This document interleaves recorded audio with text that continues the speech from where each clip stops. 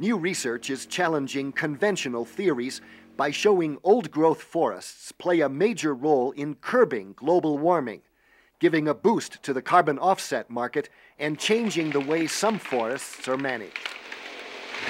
There's a paradigm that um, old forests are carbon neutral, and that's not necessarily the case. Bev Law is a pioneer in the field of eddy flux research. Worldwide, about 500 sites like this one near Corvallis, Oregon, use space age instruments to measure carbon dioxide levels in the forest floor, where it turns out about 70% of forest respiration takes place. For decades, foresters have used wood volume as a measure of carbon storage, but that's not the whole picture. What they're measuring is the trunk of the tree that can be used to generate lumber. They're ignoring the leaves, the branches, the twigs, the roots, the soil. And all those things, Bev Law has shown, play a major role in carbon exchange.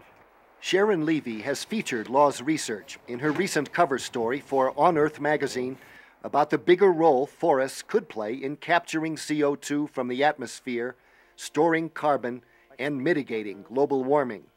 She's got a stethoscope to the lungs of the forest. It's when there's a little more turbulence near the ground, yeah.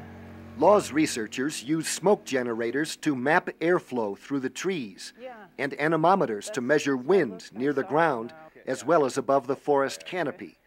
They know how fast trees are growing and how much water they use, and the data they collect gives them a detailed picture of exactly how a forest breathes. About 80% of the carbon dioxide that goes into an ecosystem through photosynthesis leaves, and that's the cost of maintenance, the cost of doing business.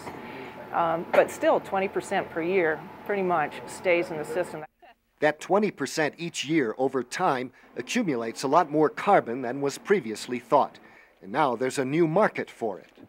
Money can grow on trees if you allow the trees to grow.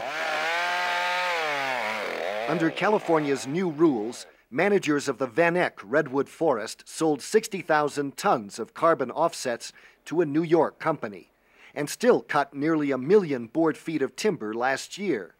Now they have two sources of revenue from the forest. And we do that by managing those forests to be older and restoring their natural carbon capacity.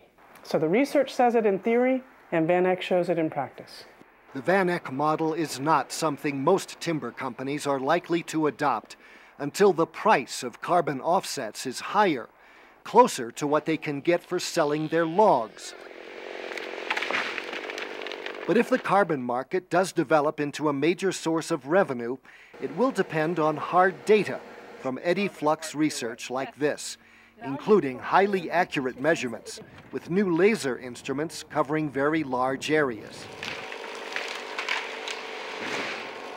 Among the findings of this research, clear-cutting a forest releases huge pulses of CO2 into the atmosphere. And if trees were allowed to grow for longer periods, domestic forests could absorb more carbon from automobiles and power plants, enough to reduce CO2 emissions in the United States by 25%.